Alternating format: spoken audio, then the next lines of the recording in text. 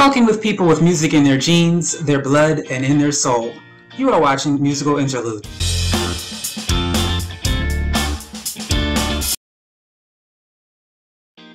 Hello, and welcome to another episode of Musical Interlude. I am your host, Casey Bell, and we are here today with John Dorsch. Let's get this show started. Okay, thank you for coming on the show.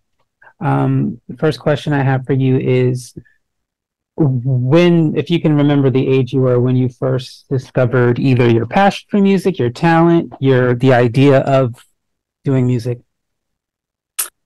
Well, music was always kind of um, it was always always there. I kind of I grew up in a musical house. My my mother would sing. I remember her singing at a very young age to me, and everybody would sing and you know even in different languages. I had a german grandmother and she would sing in different languages. And about the uh, the age of eight um, they bought me an accordion. So i embarked on you know a journey of playing accordion for about four years till i was about 12 years old. That was that was their idea of what they wanted me to do. And um, when i when i you know saw different television shows and I, I got really interested in pop music of the day, like the Beatles and you know the Monkees and anything that was happening on on TV that you heard, which was really exciting. And um, my um, my mother's sister, I guess my uncle Brian, he was a, a great uncle, and he took me um, and exposed me to some new great great experiences. So his uh, his brother Larry was in a touring band in Kingston, Ontario.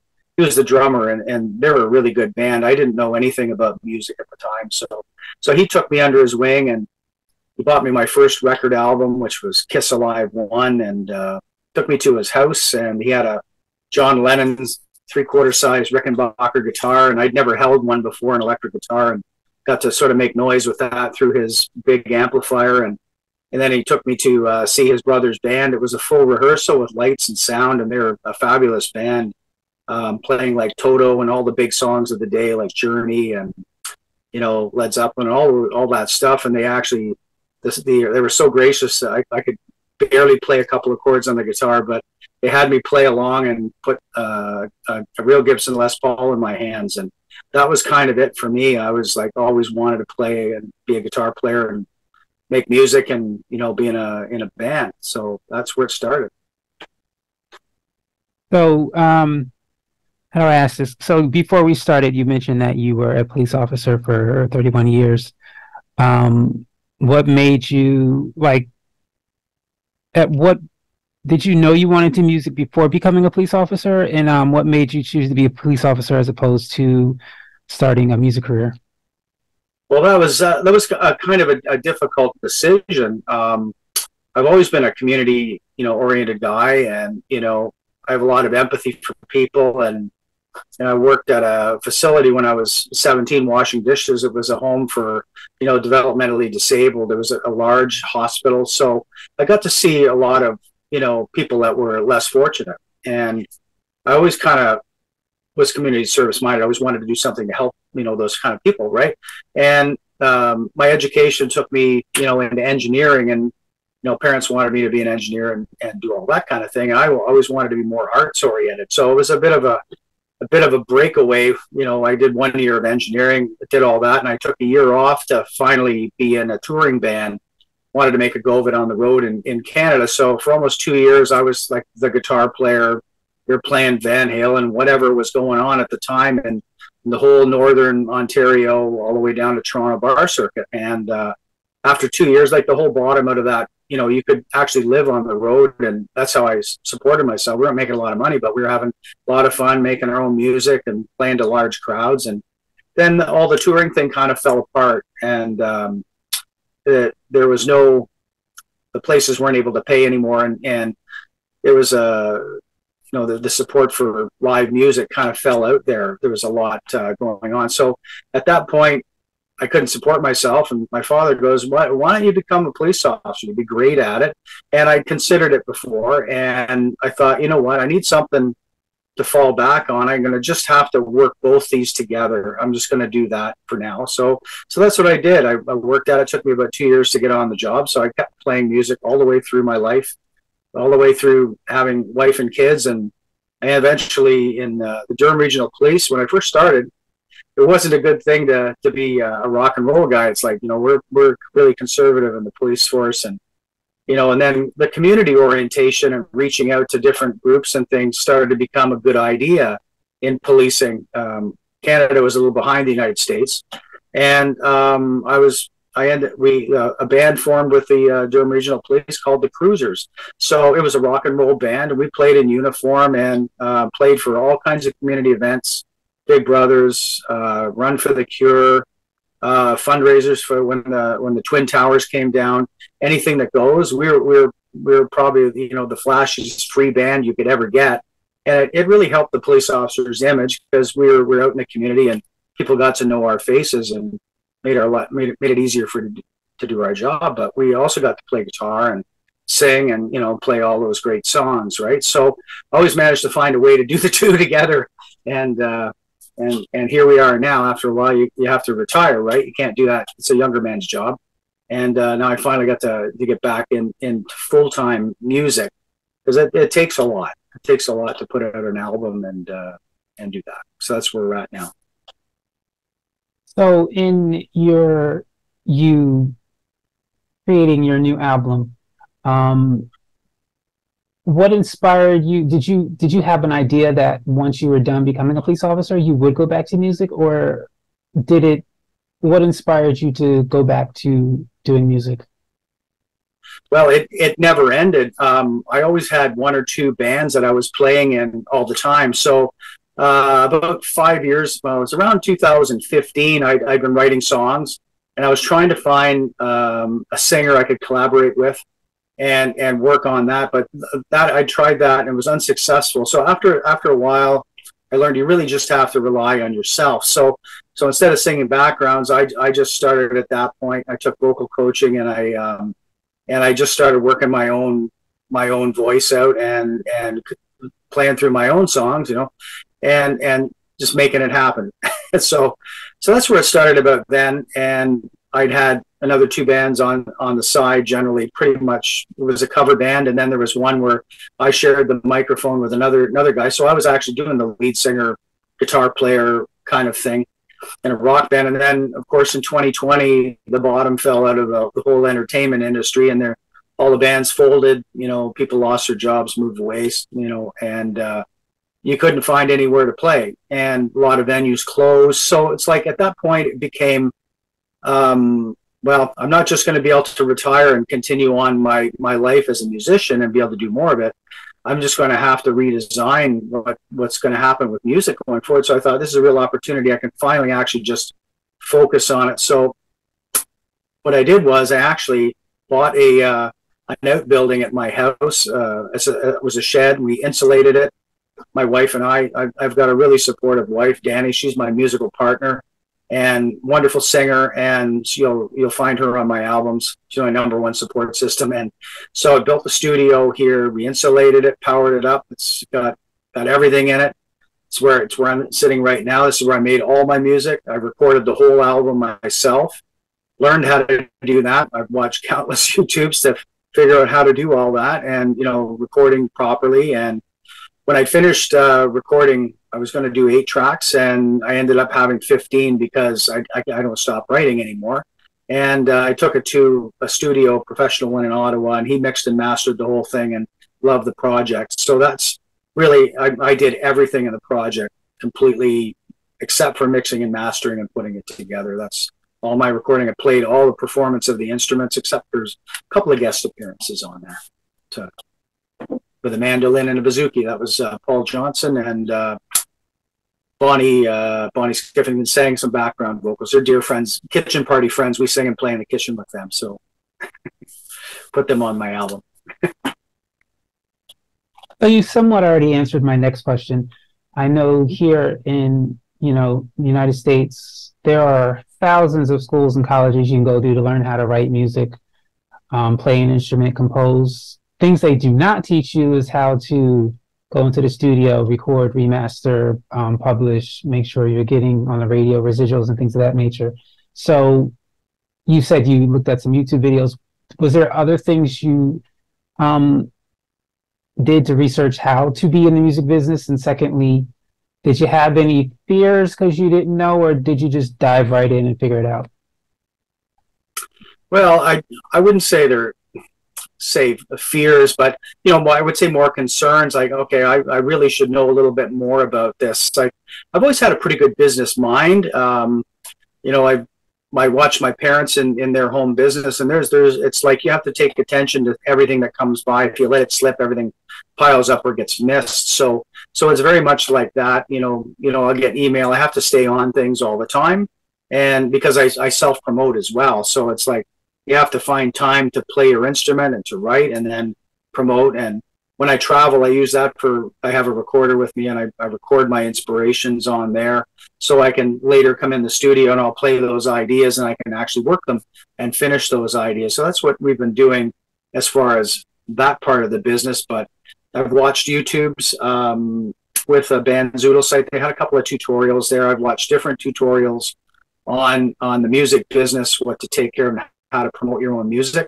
Um, I actually have a promoter at the at the moment. I decided to do that because it gets really deep really quick. You don't have time to to play your instrument if you know you know what I mean. If you're you put out an album, so so that's what we did. Um, and you know, I wanted to work up a show because we're going to be playing all these songs live. So we have a show coming up in August. So I've worked up acoustic versions. So we're going to do a duet of the whole album, even though a lot of it's uh, band oriented and there's acoustic fingerstyle in there and there's some some heavy tunes in there, we're going to have a nice intimate performance of all the album along with a CD release performance. So, so that's going on right now. Um, as far as uh, recording, um, I have a friend of mine. He runs a studio, so I've had you know pointers here and there. I've done recording in different studios, so I've seen how it works, and I know I, I know what works in in the studio. Um, and you know that I've got a good microphone. Uh, there's a couple of good things. You need a good microphone and a good attitude. So, so and uh, and a, a, learning attitude. Any anything that happens, I think I, I learned to be this way. Whatever whatever happens, you have to look at it as a learning experience. You know, maybe I won't do that again, or you know what, that didn't kind of work out. So we're just going to take a different direction here now. It's a much more positive way of moving through life rather than you know getting down on yourself. You know, there's no point in doing that. It just works against creativity. And the idea is to have fun and spread some joy of it. You know, I want to do music in a in a joyful way that I can be proud of it, and I want I want other people to see it and and and get something out of it, and I want it to speak to them on their terms, right? Whatever it means to them, that's that's what I would like to see, and uh, that's why I'm putting out the music. So you, a few of your songs have won, um, I believe, a few awards. We'll talk about Dragonfly. It was selected for the 2021 City of Ottawa On Hold Music Program. First question: What is the On Hold Music Program? Well, the the City of Ottawa, it's a city of about, I guess, 1.3 million people. Um, it's a it's a you know metropolitan city, the capital of Canada, and you know it's all the federal government is there. It says uh, big hub for tourism. There's a lot to see. Um, so anyway, the city um, they put on different music programs, and you know they have many many events. There's large you know concert festivals all year round that go on the city. So they have a program for just the local area artists. You have to be within I guess 100 kilometers of the city, and you know probably hundreds of of local artists can submit their original material to there. So um, those were my own mixes that actually won those spots. So I, I, guess I must have been doing my own mixes not too bad. So because we have a panel of about 45 different industry judges, those would be the people that you know select bands for the large festivals or you know Parliament Hill or um, different. You know, there's a lot of agency talent um, management in Ottawa as well as Toronto and Montreal in Canada. So so those people would have would have selected my song along with several others for this program. So if you called the city and you know you go 311 you call the city of Ottawa to, to speak to the mayor or, or whoever whatever department is welfare social housing or traffic or whatever if you go on hold then you, there would be a series of one minute clips of all of the 35 songs that were picked that would play and you would hear them if you were on hold for 35 minutes so if you know what i mean so that would be played all the way in, in rotation for a whole year. So you get exposure there's announcement on the website and there's a playlist and you know you, you can play the songs off the playlist. So you, you get some some promo from the city of Ottawa. And uh, the other the other song um, was "Save Just One More Life." I wrote that. It was a it was a very a very dark time. Um, police officers were um, ending their lives. There was several of them in a, in a row, and it, it, was just a really sad situation because, you know, um, if, we, if, we, could just save one more life, and that's what the song is about. Um, you know, hopefully the song reaches you know somebody, and you know, you need to stay alive one more day to have another look at it, and, and you know, hopefully you'll change your mind and decide that life's worth living that kind of thing. That song of it. So that was another song that got successful, and it was a year apart. So those two songs are on the, on this album um, as as part of it. So that was selected for the City Sound. So that song would have been played in the cityscapes. They have you know like the Ottawa buildings, uh, like the subway or whatever. It would be played in rotation and in background music in the same fashion, like one minute per song kind of thing. Yeah. Neat. So any advice you'd have for someone who's thinking about stepping into the music business, something you would have wanted to know yourself before you started? Well, um, it's it's life is what you make it. Um, you know, if if you're if you're you have to do this because you want to be an artist and you want to you want you want to be creative and you know it's it's good to take your talent and apply it to something. I believe everybody has talent. It's whether they apply it or not. Like you have to work at it. There's nothing easy. Um, I thought maybe you know some people were just gifted instantly, you know, like Michael Jackson or you know the the different people. But I've met I've met these players. They're they're they are so committed. Like you have to really commit to your vision and not let disappointment deter you. You have to look at it as another lesson that maybe you know you maybe push too hard or you know if you're practicing and making mistakes you're really just practicing to make the mistakes. So you have to kind of slow down a little bit and be a little more careful of what you're doing. It's like if i'm playing a guitar part if you start playing it fast and making mistakes what happens is you're just practicing that mistake. So speed speed is a product of accuracy. So if you want to actually play then you have to practice playing slowly and be patient with yourself and your development. It takes time and and don't concern yourself with what what you think other people might be thinking. They could be thinking about buying groceries and have a weird look on their face when they're sitting in front of you playing your guitar. You know what I mean? You don't know what's in people's heads. They could be thinking about a terrible thing that happened to them a month ago. You don't know what's happening with with the world. So you just have to deliver, you know, your best performance whenever you perform live or when you're, you know, and and and be a sponge, soak it all up. You know, look for inspiration from everywhere. That's what I do. I find travel, music, um, a great movie or something. I'll be inspired and I'll feel like writing a song the next day. It's just that's the way it is. It wakes your soul up. So you have to kind of look at it that way. Keep a positive attitude. Thank you for that. My last question for you, um, and anytime I ask this question, most people have a challenging time answering it, so I will not rush you. You can take your time thinking about it. Um, if there is a musician out there, dead or alive, that you would have liked to or would like to collaborate with, who would it be and why? Hmm. Well, I have a lot of uh, my musical career changed a lot over my like. I was always enamored by all the innovators of, of music. First, it was like John Lennon, Paul McCartney, like they're on the leading edge of music and then it was you know Jimmy Page. You know, Stairway to Heaven was was the first time I ever heard a great acoustic guitar in a piece with great electric guitar. All of a sudden, it was like, wow, it's like the two kind of kind of came together. Folk music and rock music kind of came together, and that's what sort of started my my journey down there. It's like you know, then there's great songs like Dust in the Wind, fingerstyle playing, and I wanted to, I wanted to learn how to play that, but there was nobody around here to teach me any of that. And I eventually found my way to um, I guess it would be Tommy Emmanuel and John Mayer, you know, watching YouTubes and trying to figure it out with these, you know, note lessons online. Unlike when I was a kid, I'd have to put pennies on an album and slow it down and tune my guitar down to try to make the sounds match.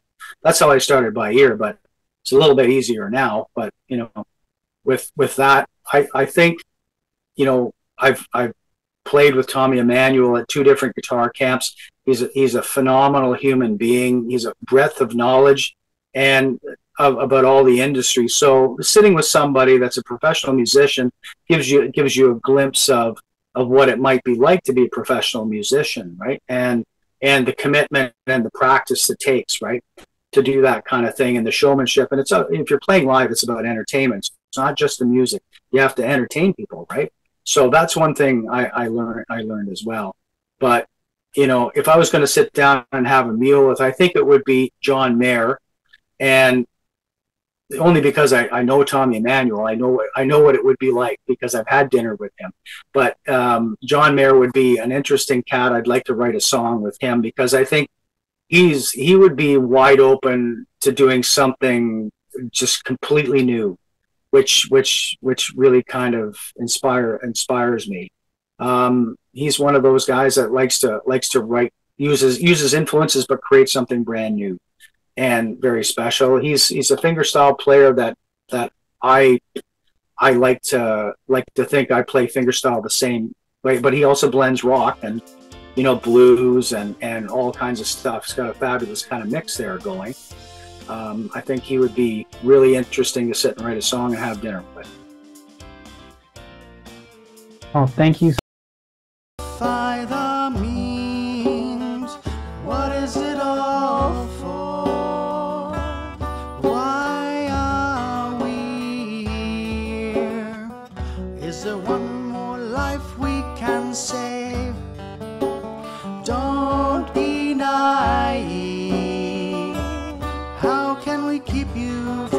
sad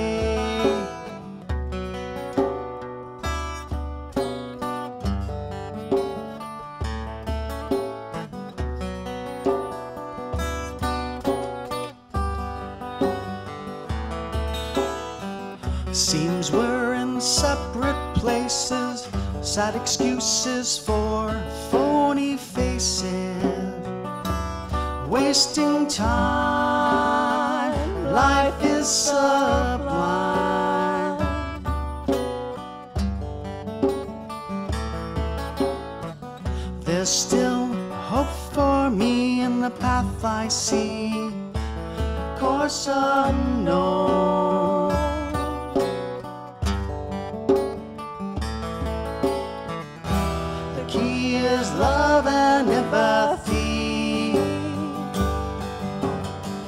each for one another, not in anger or sympathy.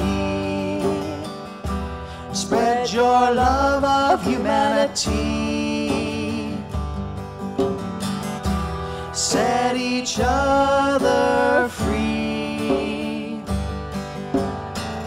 Can we save just one more life? Can we save one more life?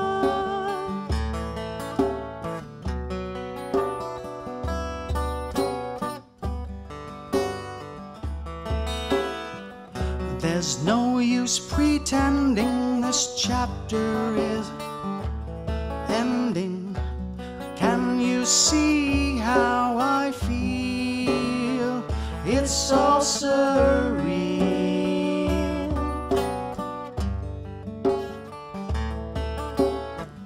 Take a chance, don't hesitate. You'll miss the beauty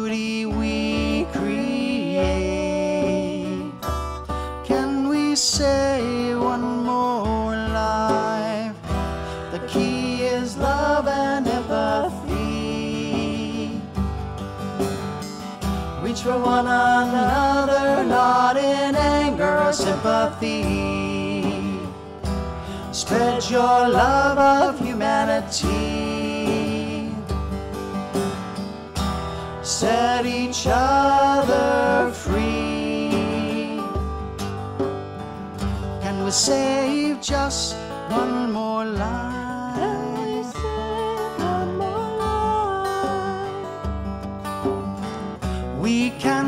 Anything together. You can make it all better. We can do anything together. Hold on if you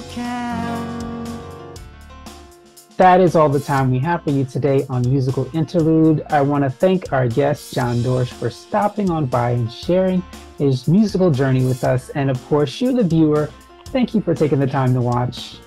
Have a good day.